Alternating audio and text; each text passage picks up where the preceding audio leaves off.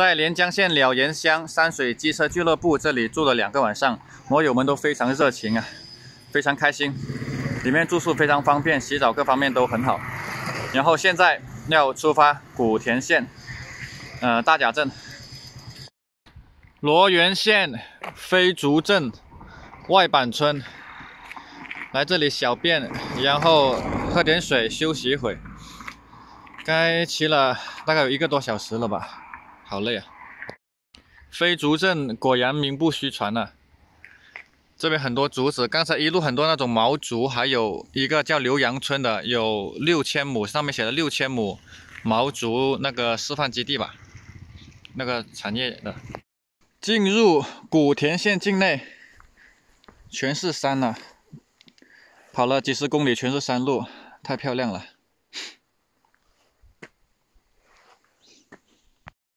古田县大甲镇邮局邮戳盖好了，呃，听邮局大姐说这边是工业区，往前面再开就有快餐可以吃，然后也有地方可以搭帐篷，等我去看一下吧。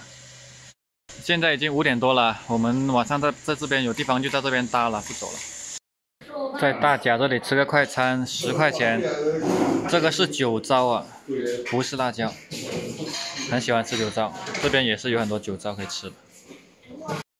今晚在这里露营，古田县大甲镇。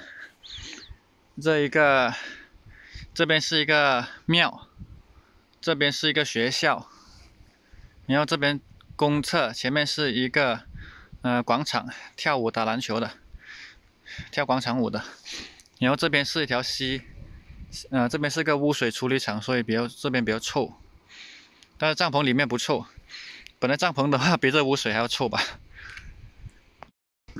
今天这边比较冷啊，比较冷，比那个了结那边要冷好几度，可能冷四度，风挺大的，但是帐篷里面没什么风，还还可以接受。今天走了大概六十多公里吧，全是山路，然后那个路不好走，拐弯拐得很急，两车会车的时候会车距离很小，就是不好避让。然后路的话，正好有有次在转弯那里，那个路是陷下去的，还坑坑洼洼，我差点被他摔跤了。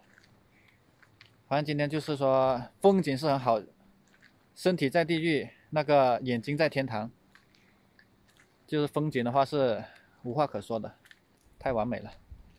早点休息，今天晚上九点，等我早点早点休息吧。今天明天早点起床。